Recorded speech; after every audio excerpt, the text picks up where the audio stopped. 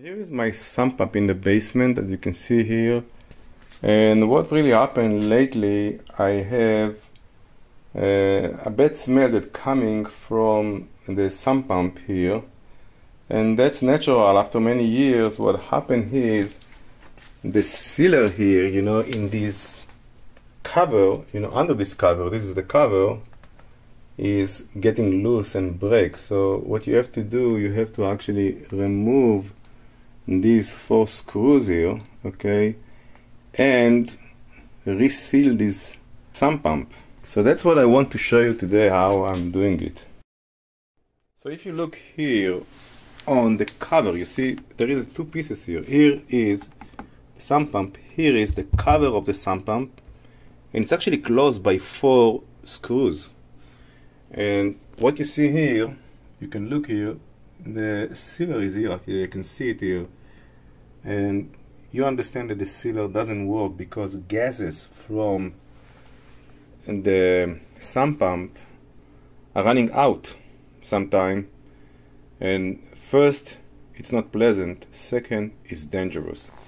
It's dangerous because it can be exploded. This gas is really methane gas. And if it's getting out here uh, you can have an explosion so that's what I try to avoid now. I'm trying actually to go and seal it uh, with a sealer that I purchased on Amazon. So that's what I want to show you today. I'm going to open the four screws that you can see here and here another two that are attaching this cover. See already the cover you can see it's actually a void spaces here. Uh, to the sump pump okay? And what I'm going to use here I'm going to use a socket. You can see here a socket of 11 millimeter. You can see here it's 11 millimeter. I'm going to use this socket here. Okay? And very easy. This is one. So you can see the screws here. And this is the screw just removed and it's actually three quarter of an inch and a quarter of an inch stainless steel screws. So I already bought new screws that I can use uh, from uh, Lowe's. So this is the other screw I'm removing here. Be difficult this one. I hope I can remove it. Yep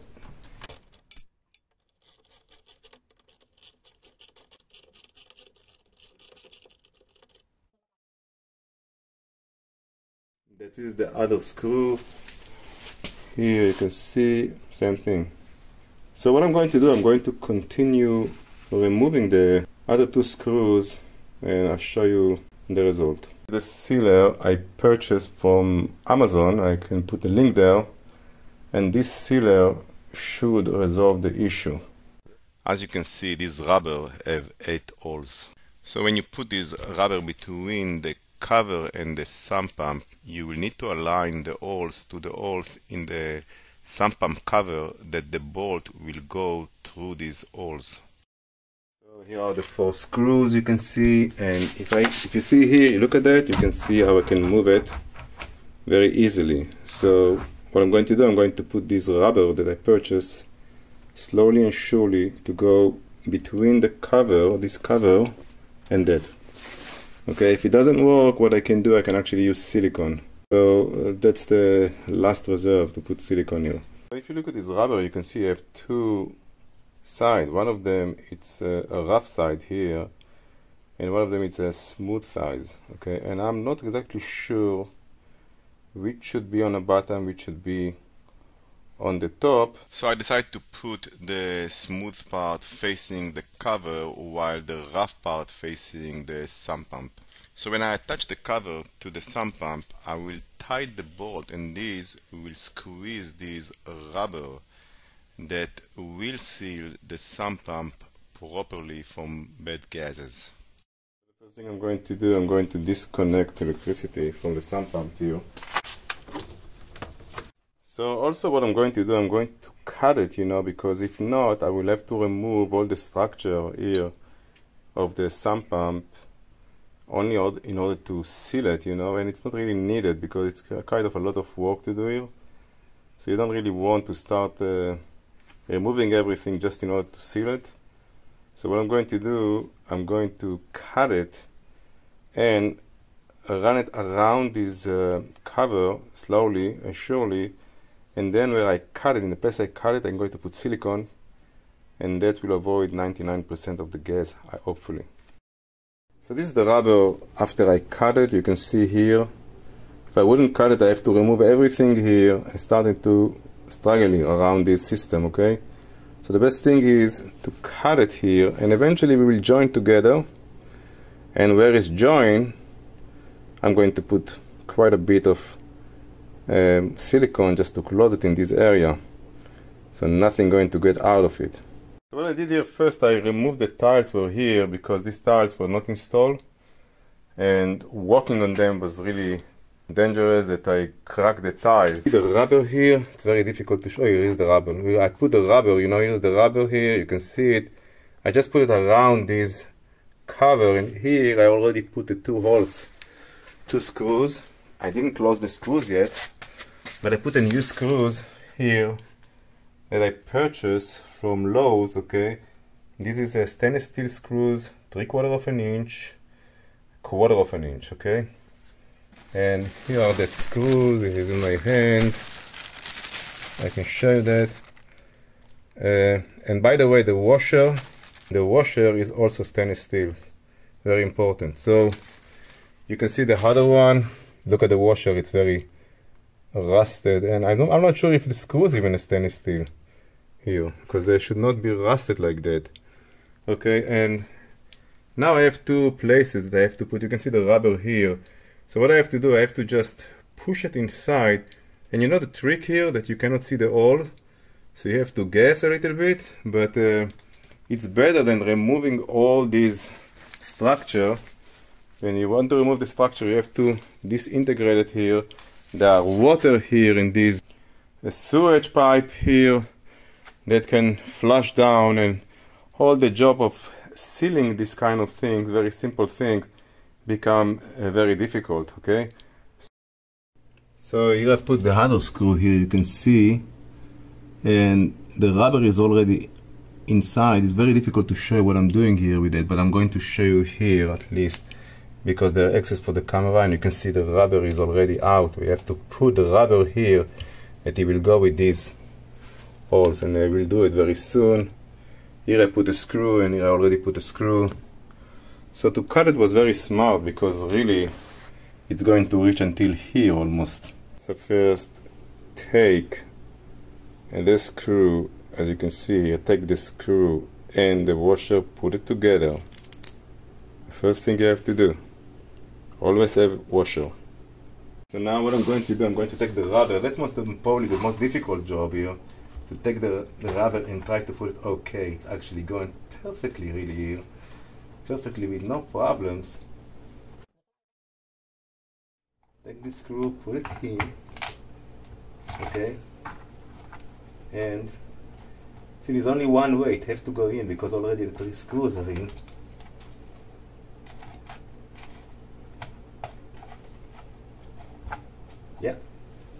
let's try here. See how it's going? Inside. So we have now really the four screw inside and the rubber is inside until here. Really until here. Almost until here. So it's really close everything. So, so here what I'm going to put I'm going to put a silicone a really good silicone and that will probably resolve this issue for many years to come so now what left for us to do is really to start closing or locking the screws using these socket here. Okay, you can see how easy it is. But this one you can actually do it with your hand first. So easy. So first close the screw but don't tighten yet. and usually in diagonal. So I'm going from here.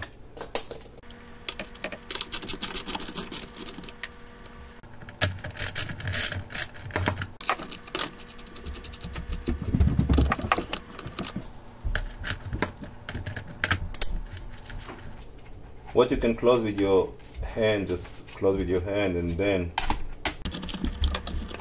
so I didn't close it really until the end because I really want to put your silicone first in this area. See here in this area I want to put silicone because there is a void space here a very small void space. So here is the silicone I'm going to use. G Advanced Silicone waterproof 30 minutes. This is the best silicone you can find. Kitchen and bath. Okay look at my link below.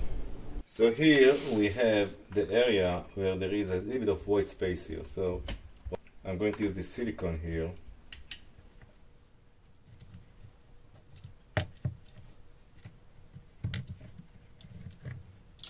okay just put a liberal amount of silicone you don't need to be accurate here you just need to seal it.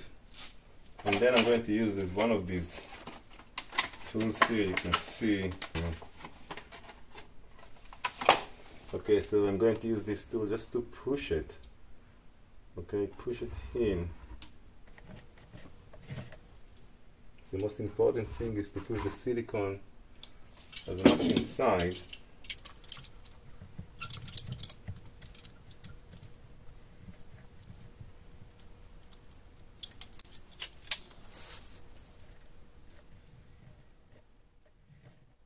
Okay, now it's look good. Okay, so what I'm using here is actually tools called, this is tools, they call it the Pro Caulk, okay? It's excellent thing. You don't really use a finger here because this silicone is poison and this one will seal it properly. After you're using this silicone, always remember to lock it. So now what I'm going to do, I'm going to actually just starting to close the screws here. And here